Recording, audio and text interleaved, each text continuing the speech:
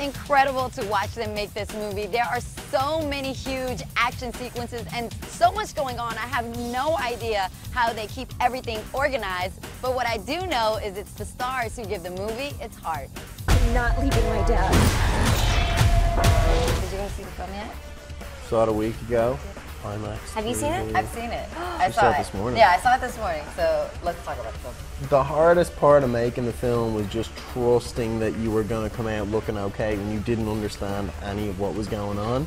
The actors had to be told where the giant Autobots, Decepticons, and Dinobots were located because they're added after filming digitally. But that wasn't Jack's biggest challenge. I had that one damn leather jacket every the single heat. day. Oh my god. Hey, you did wear that the whole movie. The whole movie. It's Especially Texas. Oh wow. Remember we did. We did wear a lot of long sleeves, you know, because all the stunts.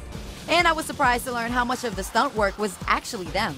I think we did somewhere in the region of 80 to 90 percent of the We did stunts too. ourselves. Yeah, but we did have amazing stunt doubles. Was there like a favorite stunt? The explosion's Yeah. great. The one that's in the trailer when Jack, Mark, and myself were, were slow motion running. It was insane, and we did it, and you feel the heat on your back Adrenaline Yeah. like you wouldn't believe. through the roof. I see. Back in LA, Jack told me Nicola's intensity left him impressed. You know, one of the great things about Nicola is that she's not afraid to commit to anything, and whether that's the scene that she's doing, and whether it's committing to a performance, or whether it's just committing to the physicality of the role, she's a tough, tough girl. She has to be tough to put up with all of the shenanigans you guys were doing on set, torturing her, ripping her hair out. Yep. Everybody's been talking about Wild Weave Wednesdays. Oh they my still God, of say course. about torturing you. Didn't you see? Were you there? Yeah, I was you were there. I should explain.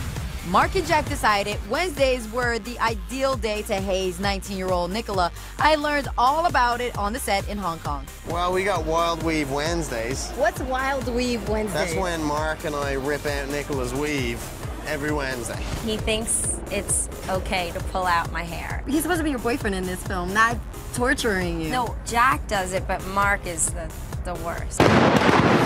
Another Transformers newcomer, Bingbing Li, she's a huge star in China where a lot of the movie was shot. So, so you're like a bigger deal than Mark Wahlberg walking around in the streets. Yeah.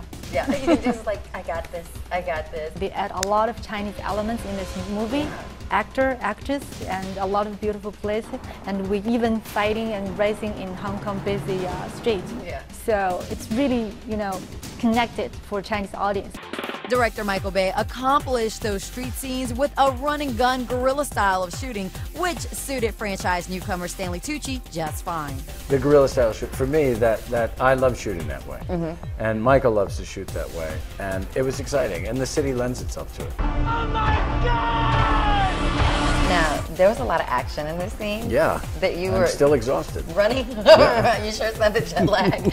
you were running all over the place. How much was that all you? You did all your own running around? No, if I think if I had done this stunts, well then like the character would have like died in the film, so I couldn't do them. Yeah. For Kelsey Grammer, he had to keep his cool even when the action got hot. You're the bad guy. I am the bad guy. Did you have fun playing the bad guy? I had a great time. Yeah. You have no idea what you're involved with here. Really? My first experience with explosions was uh, I thought, well, my guy would be very cool about all this. So I thought, as I saw this piece of flaming debris coming at my head, I thought, yeah, I'd be cool about this. Right. I sort of just got out of the way and it sort of like bounced off.